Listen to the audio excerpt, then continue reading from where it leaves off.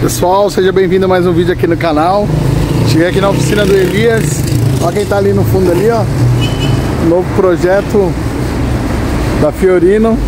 Pessoal, tem uma ideia legal, eu vou falar pra vocês aí. E eu pedi a opinião de vocês, o que vocês acham. Ó, aqui tá a asa branca. Asa branca. Esse aqui é o meu carro de uso, né? Você já conhece aí, é uma Export 2013 Tá bom? Vou mostrar pra vocês como tá ficando o carro ali, ó O Elias já, com os meninos aqui já desmontaram parcialmente, né, o carro. Carro bem íntegro, pessoal. Tá vendo aqui, ó? Desmontou as lanternas, não tem um ferrugem. O carro tá bem chique mesmo, 2011, né? Carro filezinho que eu consegui comprar leilão de financeira recuperado de financeira, tá, pessoal? Alguém por algum motivo comprou, não pagou, né? Ou teve dificuldade realmente financeira, ou decidiu que não queria pagar mais e entregou, né? Entregou, eu fui lá e comprei, tá bom? bem legal. Depois eu vou falar certinho o valor, quanto que eu comprei, quanto que eu arrematei, quanto que eu paguei, se compensou, né? Não tem restrição nenhuma no documento, tá bom? O carro não tem é, passagem de monta, né? Que é batida, nem nada. Carro bem íntegro, tá bom? Eu vou mostrar pra vocês aí. Eu vou virar a câmera pra vocês verem, tá bom? Mas eu vou dar um panorama aqui pra vocês verem como que é a oficina. A oficina só tem carro bom, carrinho chique, ó. Tem uma torre aqui também, ó. Leilão, ó leilão da Copart. Quando tem esse simbolinho aqui é da Copart. Quem que segue leilão aí já sabe. Filé também, ó. O cara conseguiu, o cliente dele aqui conseguiu comprar. Só tá batidinha aqui, ó. Vou mostrar pra vocês aqui, ó. Só tá batidinha aqui, ó. Pegou o paralama, uma parte do, do, do capô, né? Capô, paralama, capô, nem o farol pegou, ó. Tá vendo?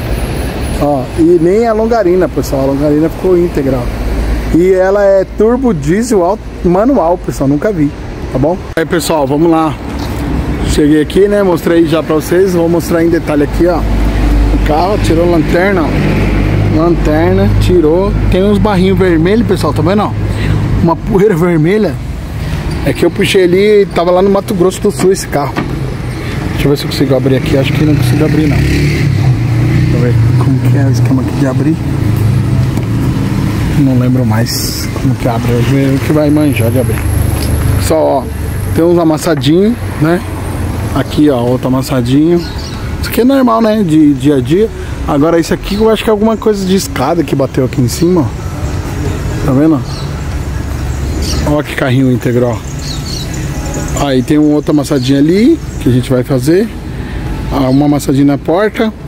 Já falei, né? Esse paralama eu já comprei novo, comprei novo, né? Vou comprar um para-choque novo.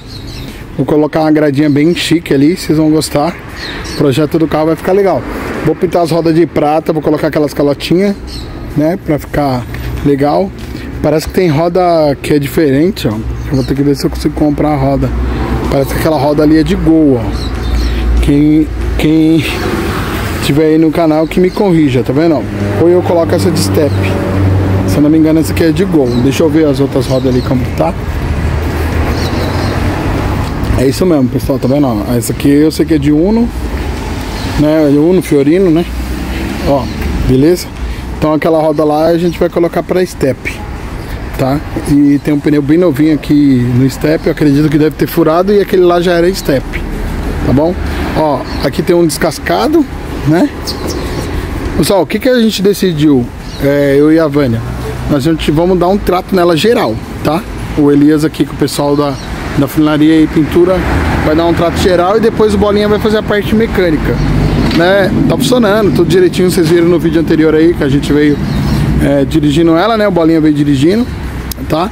E só que tá com a luz acesa da injeção eletrônica, então vai passar um scanner para ver o que que é. Aí vou trocar a correia dentada, né, que é de praxe, correia dentada e é, vela, cabo de vela, essas coisas. Então acredito que vai aí dar uma limpezinha nos bicos, né?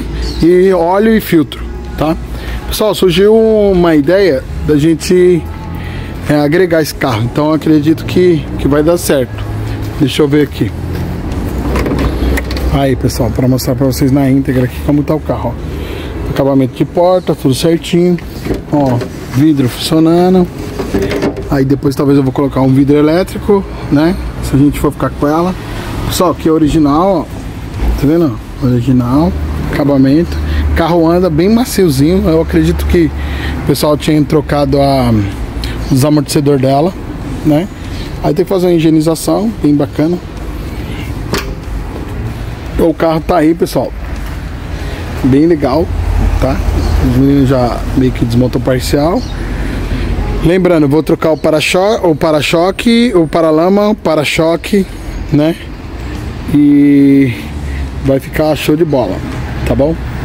Eu vou vou dar um recadinho para vocês aí e pedir a opinião de vocês, beleza? Pessoal, então a gente decidiu, eu e a Vânia, que a gente vamos é, talvez colocar o carro para agregar.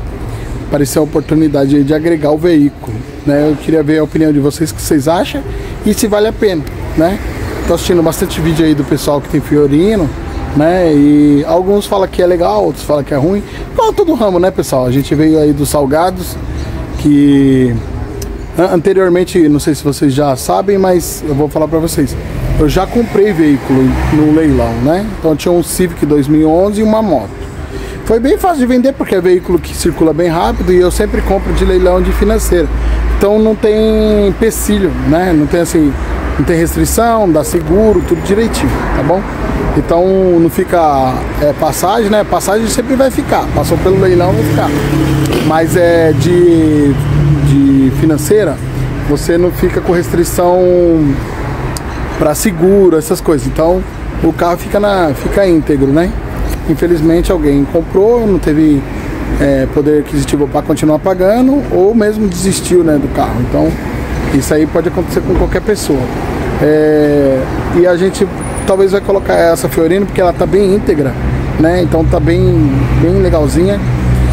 Talvez eu venda, talvez não. Se aparecer uma proposta muito boa, né? Tanto aí do canal aí, do pessoal, como como no dia a dia aqui, eu talvez eu venda, mas eu acredito que eu vou colocar, até porque eu tô desempregado agora, né? Então, é, vamos ver aí se aparece uma nova oportunidade de trabalho, né, para mim, até porque eu tenho as crianças especial, né? Então tenho que ter um tempinho aí, talvez seja a oportunidade que eu precisar, tá bom? Deixa o like aí, se inscreve no canal, dá essa força para nós aí. Deus abençoe a todos.